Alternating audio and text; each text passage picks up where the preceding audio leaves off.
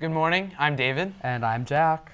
Today we're going to focus on, surprise, surprise, the coronavirus, also known as COVID 19. The CDC has officially recommended that gatherings and events of 50 people or more should officially shut down until early May. Boy, what a flashback seeing uh, David and Jack a year ago today saying we don't know what's going on, and then soon after, a big announcement was made. It's crazy to think about. Yep, and the coronavirus uh, first hit home a year ago, and it was the last time that everybody was in school Yeah. and maskless. Which is, uh, you know, really, it is crazy because we, you know, I remember just standing there, like standing right next to people, no mask, not even thinking about it. And now that seems so abnormal to me. It is. It's really strange. And um, before we get uh, too much into it, let's uh, head over to news and see what Soph has for us. H. Douglas Barclay passed away last weekend at 88 years old. He was a lawyer, a local politician, and known to be the patriarch of the New York State Republican Party. Throughout 50 years of his political career, he was a powerful chairman of the Republican Conference in the Senate, along with the Committee on the Judiciary and Select Task Force on Court Resignation. Will Barclay, his son, claims that his father died around his family. Will always looked up to his father and said they'll remember him as a leader, fighter, and advocate. Multiple countries have stopped providing the AstraZeneca vaccine due to reports of blood clots. There are multiple vaccines available for COVID 19. However, this one, which is used all over the world, has been recalled by a few European countries such as Sweden and Berlin. The makers of the vaccine still claim that it is safe. There have been 37 reports of blood clots out of the 17 million people who have been vaccinated in Western European countries. I'm Soph. Please stand for the Pledge of Allegiance. I pledge allegiance to the flag of the United States of America and to the republic for which it stands, one nation under God, indivisible, with liberty and justice for all.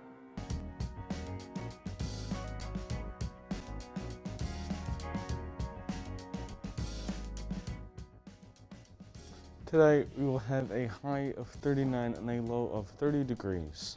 Today we will also mainly have clouds throughout the day and some wet snow in the late afternoon to evening, mainly near, mainly near south and west of Syracuse.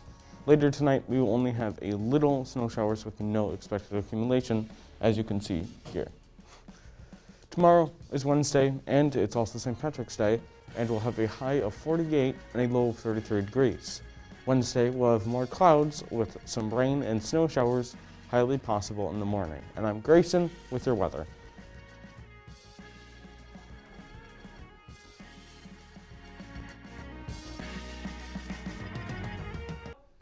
It is really hard to think that a year, like a full year, has gone by.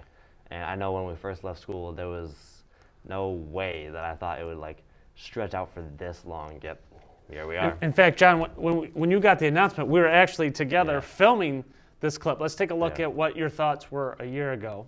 Um, well, directly, I will be taking time off of school because school will be closed, and then I'm also a athlete. So my spring sport, which is track, um, is getting postponed till later on.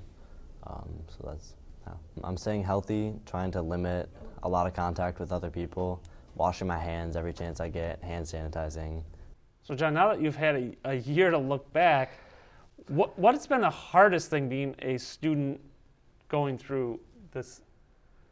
I mean, probably, and what I never thought was going to happen was having the virtual days. And I mean, it's different now because we're starting to come back a little bit, but I never thought that I'd be in only two days a week, or, you know, Even those months where you didn't, we didn't come at all. right. I thought we would, everything would be okay, and we would just come back to normal, and like everything would be fixed, and it'd be all good.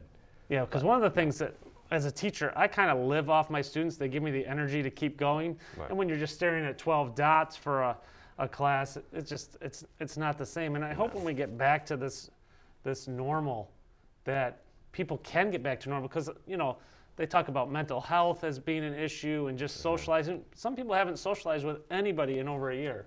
Yeah, that's, I know a couple of my friends have been on complete lockdown where they have barely left their house this entire year, and I can't imagine what impact that has had on them.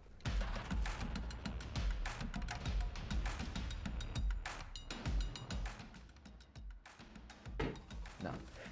NFL free agency has begun, and a few teams have come sweeping through, signing many players. The Patriots have signed many players, such as tight end Jonnu Smith, edge rusher Matthew Judon, wide receivers Nelson and wide receivers Nelson Agholor and Kendrick Bourne.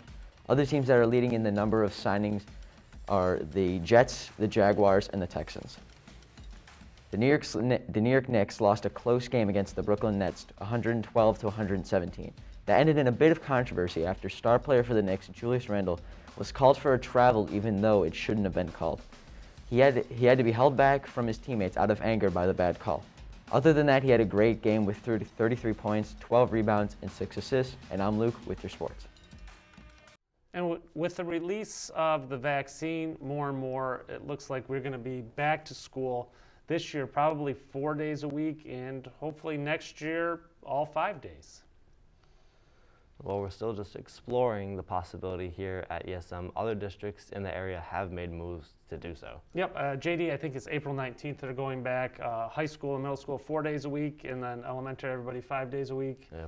They're just making that commitment to move forward. I know sports are back, which sports are back. Is a little bit of a, a new normal for us. You know, getting Yeah. back in that routine, It is definitely which is pretty nice. So, um, it's been the longest, shortest year of my life. and like Yeah. it's gone by like that, but it, Yeah. yet it seemed to have dragged as well. Yeah, I definitely. I feel that.